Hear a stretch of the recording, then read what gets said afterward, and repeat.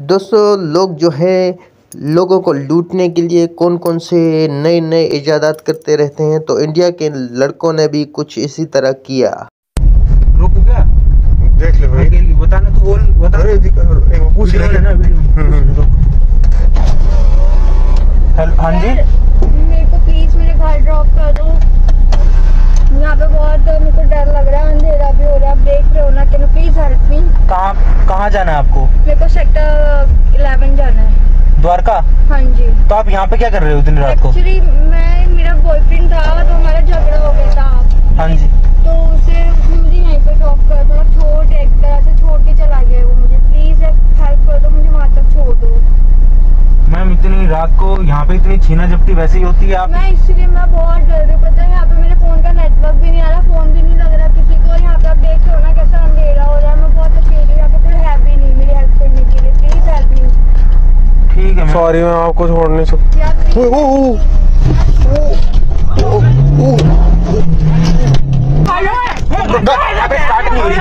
करना बैक ले बैक ले बैक यार। ऊपर चढ़ा हुआ चला क्यों नहीं रहा यार तू? कैसी बात है? ये क्या कर रहे हैं?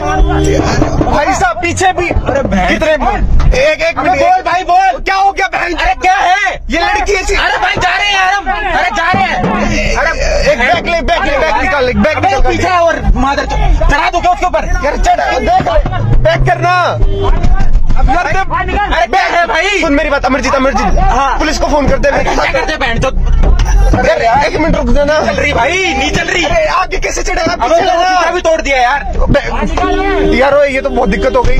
मैं कह रहा था मत रोक लड़की बस मत रोक। क्या हो गया?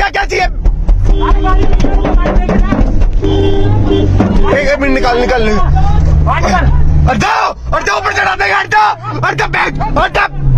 भाई निकाल निकाल निकाल निकाल जल्दी निकाल। ये तो इस इस रोड से मना कर रहा था मत लाइयो बहन चोद फिर आगे मैं माँ कसम बहन चो भगा ले हम यहाँ से। आगे हो सकता अब आगे निकलेंगे कहाँ?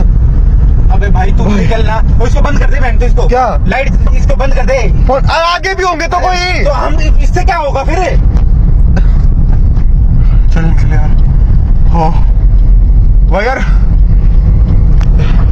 नहीं रोकना चाहिए था भाई हमें। पहले दे अबे मैं तो समझ गया था रात के जो दो बजे बहन से ये होती है ना हरकतें। कोई नहीं है रोड पे देख ले अभी तू देख ले कोई भी नहीं है रोड पे। एक काम कर एक काम कर यार एक काम कर। फिर तो हार्ट बीट बहुत तेज हो रही है भाई कसम से दिमाग खराब हो रहा है। और ये ब्लेड बुलेट भी रखते हैं बाहर भी नहीं निकल सकते। अबे लड़के थे कितने पीछे भी थे चार पाँच लड़के। पीछे वाला शीशा भी फोड़ दिया भाई उन्होंने। पीछे वाला शीशा भी रोक ले रोक ले रोक ले रोक एक बार मेरी बात सुन अब। हम पीछे से आ रहे होंगे भाई पीछे से अरे